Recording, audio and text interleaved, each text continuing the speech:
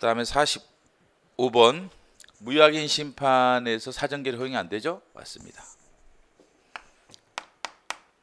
그 다음에 인용 재결이 있었음에도 불구하고 신청에 따라 기간을 정해 소멸의 시정을 직접 직접 처분은 조심할 게 50조에 직접 처분은 49조 사망과 관련이 있다라고 명확하게 규정하고 있죠. 49조 사망이 뭐예요?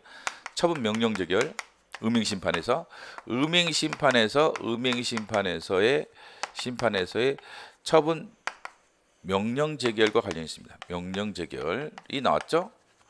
그런데 그러면 49 사망이 뭐죠? 49 사망은 재처분 의무죠. 신청에 대한 처분해야 되는데 처분할 뭐가 있는데 처분 의무가 있는데 안 했다겠죠. 무료 규정하고 있습니다.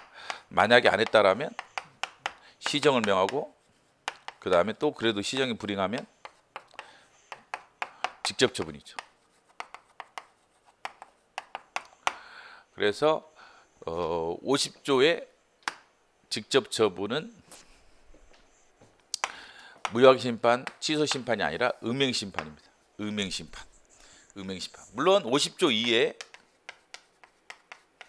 간접 강제는 다 적용되죠. 간접 강제의 경우는 다 적용될 수 있습니다.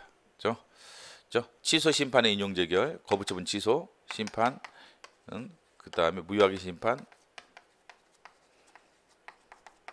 그 다음에 음행 심판 이행 심판에서 뭐 처분을 취소하거나 처분을 무효로 확인하거나 저 처분을 명하는 제기하거나 이세 가지 경우 만약에 안 하면 신청해서 저 간접 강제 때릴 수 있죠.